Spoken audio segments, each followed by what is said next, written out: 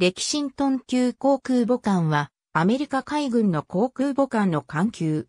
巡洋戦艦の船体を流用して建造された、アメリカ海軍初の大型正規空母。第一次世界大戦後、アメリカ海軍は、ダニエルズプランに基づき海軍の拡張計画を実施しており、その中には 40.6cm 砲8門を装備するレキシントン級巡洋戦艦6隻の整備が含まれていた。また、同時期に完成したアメリカ海軍初の空母、ラングレーは、比較的低速の旧単艦を改装したものであることから、戦艦や巡洋艦と共同して作戦を行うには、速力の不足が指摘されていた。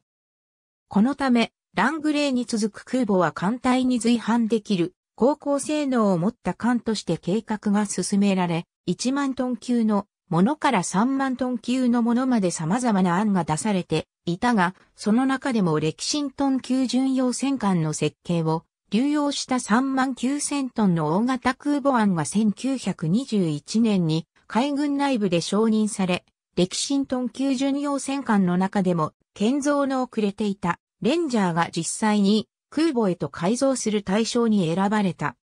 だが1922年に発行したワシントン海軍軍縮条約により、ダニエルズプランは計画中止、レキシントン級巡洋戦艦も全艦が廃棄対象となった。一方で、ワシントン海軍軍縮条約では、未成艦を含めた戦艦、巡洋戦艦の空母への改装が認められたことから、レキシントン級巡洋戦艦の中でも建造が進んでいたレキシントンとサラトガの船体を利用し2隻の大型航空母艦が整備されることとなった。空母としてのレキシントン級は前日の3万9000トン級空母案をもとに軍縮条約の排水量上限である3万3000トンに合わせる形で解説系を実施した。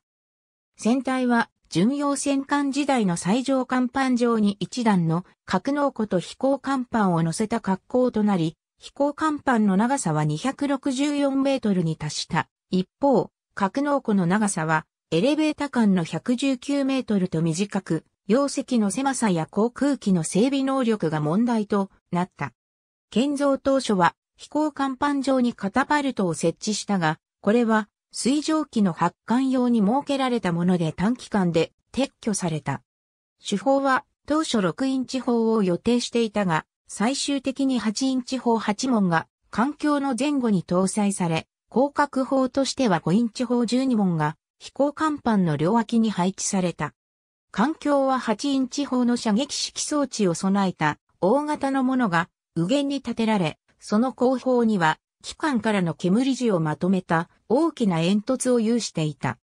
機関部は巡洋戦艦時代の蒸気タービンによるターボエレクトリック方式をそのまま利用し、定格18万馬力、過負荷21万馬力に達する出力により33ノットの高速を発揮した。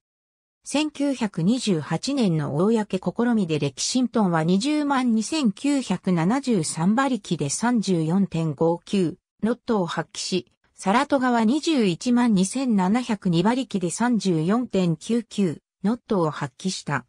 アメリカ海軍初の大型空母として完成した本級は竣工後の成績も優秀であり、太平洋戦争開戦時点では世界水準のほぼ全般を満たしていた。